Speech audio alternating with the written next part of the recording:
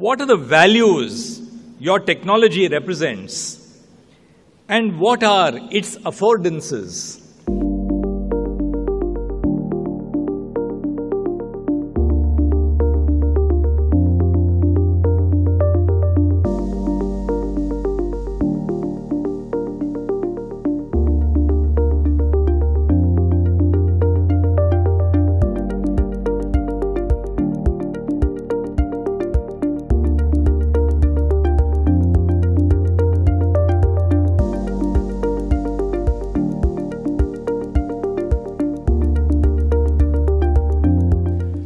What wisdom can a judge of a constitutional court impart to young innovators and entrepreneurs at the forefront of our ongoing technological revolution?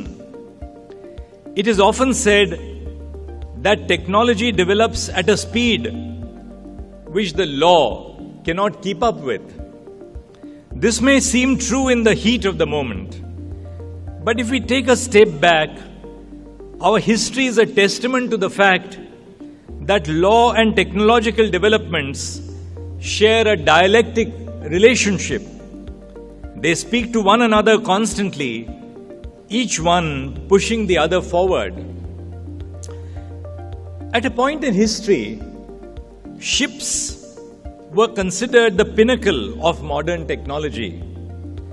But with every voyage, came a significant risk of losing all your goods and the ship itself, and together with it, human life, to the misfortune of the high seas.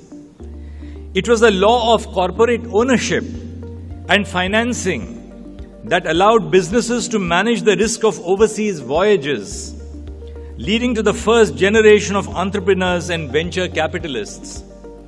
Later, it was the rapid technological innovation of the Industrial Revolution that led to the disciplines of labor law and patent law. Tomorrow, your creations will frame the next stage of the debate between technology and the law. So, today I want to leave you with two questions that I hope you ask yourself. What are the values your technology represents? And what are its affordances? When I say value, I do not mean the monetary worth of your ideas, innovations, or technology.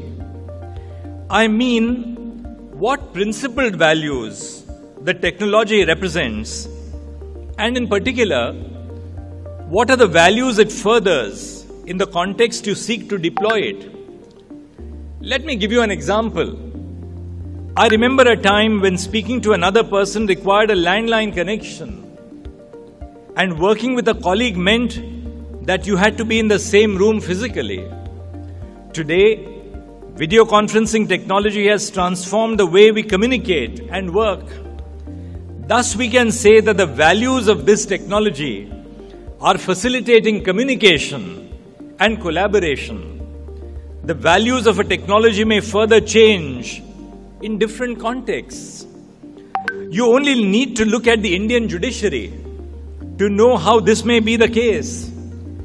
During the COVID 19 pandemic, the Supreme Court introduced virtual hearings, which till date allows litigants and lawyers from outside Delhi to appear before the Supreme Court.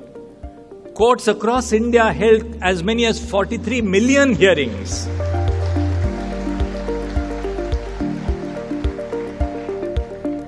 These millions of hearings made us quickly realize how virtual hearings helped female lawyers who otherwise face difficulties appearing physically in court due to the gender demands of domestic work and caregiving.